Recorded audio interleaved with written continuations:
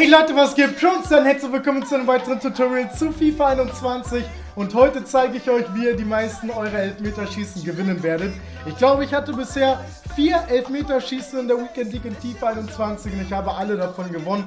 Einmal hätte mir das fast ein 30-0 versaut, einmal hätte mir das fast die Top 200 versaut, aber ich habe da so meine Tricks und meine Sachen, die ich bei Elfmeterschießen mache und bisher haben die eine 100% Erfolgquote in diesem FIFA-Teil und in diesem Video möchte ich euch erklären, worauf ich bei Elfmeterschießen, bei meinen eigenen Elfmetern, aber auch bei den Elfmetern des Gegners achte. Wenn euch das Ganze weiterhilft, lasst gerne einen Daumen nach oben da, würde mich auf jeden Fall freuen. Und wer meinen YouTube-Kanal noch nicht abonniert hat, der sollte das auf jeden Fall tun. Dafür unter dem Video einmal auf Abonnieren drücken, ist ein Klick, dauert eine Sekunde, schon verpasst man keine Videos, Tutorials und Streams mehr.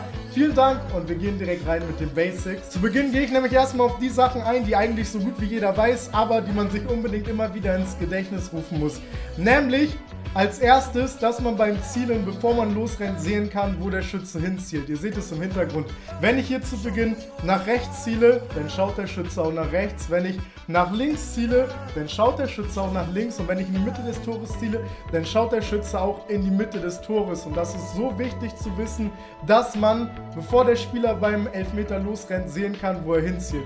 Sobald man schießt, sobald man im Lauf ist, kann man natürlich die Position des Indikators noch ändern. Das heißt, man kann noch ändern, wo man hinzielt. Das sieht der Keeper nicht mehr, beziehungsweise da schaut der Spieler dann nicht mehr hin.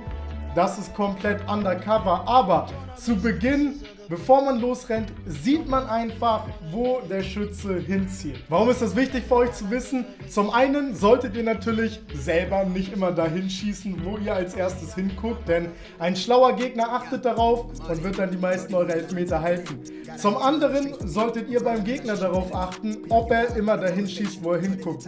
Wenn er drei Elfmeter macht und einmal dahin schießt, wo er hinguckt und zweimal nicht dahin schießt, dann vergesst das, dann braucht ihr nicht mehr darauf achten. Aber wenn der Gegner im Elfmeter Elfmeter schießt und bei den ersten drei Elfmetern dahin schießt, wo er auch hingeguckt hat, dann wird er das auch bei den anderen beiden tun, weil er einfach nicht weiß, dass er euch diese Information gibt. Und so werdet ihr dann die letzten beiden Elfmeter von ihm auf jeden Fall halten und dann habt ihr das Elfmeterschießen eigentlich auch schon in der Hand. Ich denke, am schlausten ist es wirklich, wenn man ungefähr bei der Hälfte der Elfmeter dahin schießt, wo man auch hinguckt. Bei der anderen Hälfte schießt man genau in die andere Ecke. So gibt man dem Gegner durchs Gucken gar keine Information darüber, wo man hinschießt. Eine weitere Sache, die extrem extrem wichtig ist, wenn ihr selber einen Elfmeter habt, ist das richtige Zielen. Denn ihr zielt beim Elfmeter dahin, wo der große Kreis ist. Ihr seht jetzt im Hintergrund, wir haben ein Standbild und wir haben den kleinen Kreis unten rechts im Tor. Und es gibt sehr viele, die jetzt denken, dass man nach unten rechts zielt und der Ball dorthin fliegen muss. Aber das ist überhaupt nicht der Fall. Man zielt dahin, wo der große Kreis ist. Dieser Elfmeter kann flach in die Mitte gehen. Dieser Elfmeter kann rechts über das Tor rüberfliegen oder der Elfmeter kann rechts ganz weit flach am Tor vorbeifliegen. Das ist alles möglich, denn alles, was sich in einem großen Bereich befindet, ist das, wo ihr hinzielt. Und ganz random irgendwo in diesem Bereich wird der Ball hinfliegen. Wenn dieser Ball hier rechts am Tor vorbeifliegt, kann man sich nicht beschweren. Ich sehe sehr viele Leute, die so ihre Elfmeter schießen, der geht dann rechts am Tor vorbei und die beschweren sich. Aber da gibt es nichts zu beschweren. Dieser Elfmeter ist nicht gut geschossen und das liegt an drei Punkten. Als erstes hat man zu viel Kraft benutzt. Beim Elfmeter sollte man nicht viel Kraft benutzen. Maximal zwei Balken. Wenn man mehr Kraft benutzt, wird der große Kreis einfach größer. Als zweites muss man darauf achten, dass wenn ihr Schuss Schuss gedrückt habt und der Spieler am Laufen ist, ihr nicht zu sehr die Position, wo ihr hinzielt, ändert. Ihr geht dann nicht mehr nach rechts, nach links und nochmal nach rechts. Dadurch wird der Zielkreis einfach riesig. Das ist nicht schlau. Ändert es vielleicht einmal kurz, aber geht nicht hundertmal hin und her. Das macht keinen Sinn. Und drittens, nutzt auf jeden Fall Time Finish. In dem Moment, in dem euer Spieler den Ball beim Elfmeter trifft, müsst ihr nochmal auf die Schusstaste drücken. Dadurch aktiviert ihr ein grünes Time Finish und der große Kreis wird dadurch viel, viel kleiner und die Area, in die ihr zielt, wird viel kleiner, viel präziser. Das ist auf jeden Fall nochmal sehr wichtig und so verhindert ihr auf jeden Fall, dass der Ball einfach irgendwo hinfliegt. So sorgt ihr dafür, dass der Ball wirklich dahin fliegt, wo ihr den Ball auch haben wollt. Im Hintergrund sehen wir jetzt ein Beispiel von einem ziemlich perfekten Elfmeter. Ich ziele am Anfang in die Mitte, damit der Gegner nicht weiß, wo ich hinschieße.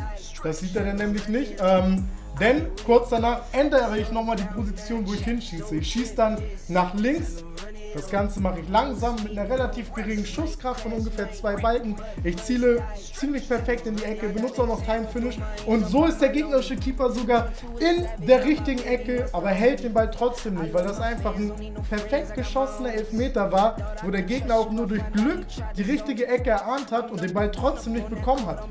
Was soll er machen? Perfekter Elfmeter. Das waren die grundlegenden Tipps zu Elfmeter. Ich werde euch jetzt noch ein, zwei weitere Sachen sagen, die euch auf jeden Fall auch bei euren Elfmetern helfen werden. Ich glaube, viele haben ein Problem damit zu zielen. Ich habe das in meinem Freischuss-Tutorial auch schon erklärt, wie es am besten ist zu zielen, ohne zu wackeln. Denn die meisten, ich erkläre es hier jetzt einfach nochmal, die meisten zielen wahrscheinlich so, dass sie einfach mit dem Finger auf den Stick gehen und dann das Ganze bewegen. Und so wackelt man einfach pauschal relativ viel und das muss nicht sein, da gibt es andere Methoden. Man kann es beim Elfmeter so machen, dass man die Zwei-Finger-Methode nimmt, den Stick einklemmt und dann zielt und dann schafft man es eigentlich ohne zu wackeln an der Position zu bleiben. Wem diese Methode nicht gefällt, der kann den Klemmer nutzen. Bei dem macht man den Daumen unter den Stick, zielt irgendwo hin und ihr seht es, der Stick bewegt sich kein Millimeter. Ich kann Schuss drücken, kein Finish aktivieren, dann hätte ich jetzt in dem Fall einfach äh, einen perfekten Elfmeter gemacht, damit, dass ich den Stick unter meinem Finger eingeklemmt habe und der sich einfach nicht bewegen kann und der nicht wackeln kann. Und ein paar Beispiele für sehr starke Elfmeter, die man so schießen kann, seht ihr jetzt im Hintergrund. Hier haben wir nochmal den, bei dem der gegnerische Keeper sogar das Eck geahnt hat, obwohl ich nicht hingeguckt habe, der Ball aber trotzdem drin ist, weil er sehr platziert geschossen war. Dann, ähm, ja, kann man natürlich, wie gesagt, auch gelegentlich mal wirklich in die Ecke schießen, in die man auch guckt, solange man das nicht zu häufig macht. Hier ziele ich rechts oben in den Winkel, habe den Stick eingeklemmt, sodass ich da nicht wegrutsche, benutze das grüne Time Finish. Und obwohl der Keeper auch hier wieder in die richtige Ecke gesprungen ist, hat er ihn nicht gehalten, weil er nicht den Schritt gemacht hat. Hätte er einen Schritt in die Ecke gemacht, wäre dann noch dahin gesprungen, hätte er ihn gehabt, aber das machen die allerwenigsten. Und was auch extrem stark ist, zielt in den Winkel, haltet L1, drückt ganz kurz Schuss, so macht ihr einen Lupfer-Elfmeter und die werden in 90% der Fälle nicht gehalten. Also selbst wenn der Gegner die Ecke ahnt, perfekt in den Winkel springt, dann halt, hält der Gegner einen Lupfer-Elfmeter eigentlich nie, weil die ziemlich OP sind. Also ich würde sie jetzt auch nicht in einem Elfmeterschießen nur nutzen, weil irgendwann äh, kommt der Gegner drauf und stellt sich schon in die Ecke und ja, dann fängt der Keeper den Ball auch wirklich ab. Aber wenn man die ab und zu mal einstreut, wenn die überraschend kommen, gibt es eigentlich keine Situation, in der irgendein Keeper die hält. Und ihr seht es jetzt im Hintergrund, trainiert ihr einfach mal in der Trainingsarena. Geht generell mal in die Trainingsarena, übt dort Elfmeter, dann kriegt ihr Routine rein. Dann werdet ihr selbstbewusst bei Elfmetern. Und wenn ihr das hinbekommt, wenn ihr von euch selber überzeugt seid bei Elfmetern, dann werdet ihr auch eigentlich immer gute Elfmeter schießen. Und jetzt rotieren wir einmal. Jetzt geht es darum, wie ihr am besten Elfmeter haltet. Und da gibt es auch eine Methode, die von sehr vielen E-Sportlern genutzt wird. Das ist nämlich die Ein-Schritt-Methode. Ihr seht es, denke ich, schon im Hintergrund. Jedes Mal kurz bevor der gegnerische Spieler den Ball schießt, mache ich einen Schritt in die andere Richtung und springe dann einmal rüber. Dadurch decke ich nämlich nicht nur die Seite, in die ich springe, ab, sondern auch die Mitte des Tors. Wenn der Gegner dann in die Mitte schießt, halte ich den trotzdem. Und die Wahrscheinlichkeit, dass ihr in der richtigen Ecke seid, erhöht sich plötzlich von 33% auf 66%.